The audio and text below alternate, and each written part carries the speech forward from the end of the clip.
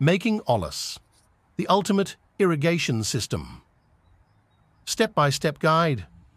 Welcome everyone. Today, we're diving into the world of Ollas, an ancient yet incredibly efficient irrigation system. Follow along as we craft our own Ollas step by step. First off, we need to block the drainage hole. Here, I'm using some tape to hold cement in place. Don't forget to add a small stone inside the hole for added reinforcement. Let the cement dry overnight.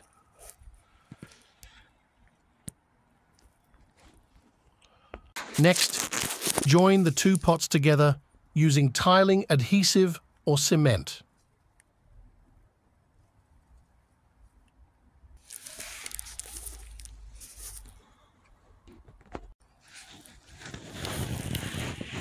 Allow it to dry for two days and voila, your olla is ready for action. Now, it's time to test our ollas. Fill them with water and observe how they slowly release it overnight. This demonstrates how they'll provide water to your plants when needed. Once you've tested your ollas, it's time to put them into the ground. Dig a hole slightly larger than the olla and leave about two inches above the ground level. Perfect for our tomato plants. But how does olla irrigation work? Well, when the soil around the olla is dry, it pulls water through the pot's walls, providing moisture to the roots. Conversely, when the soil is already wet, no water is pulled through.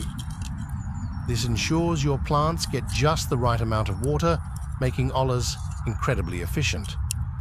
In fact, Olla irrigation is considered one of the most efficient watering systems out there. It can save up to 50 to 70% of water usage compared to traditional methods. Plus, it encourages stronger root growth and minimizes water loss through evaporation or runoff. Do DIY ollas really work? Absolutely. In my own experiment, I found that filling the ollas just one two times per week led to healthier plants and significantly reduced water usage. It's truly a game changer for any gardener. And there you have it, folks. Your guide to making and using Ollas, the ultimate irrigation solution. Happy gardening.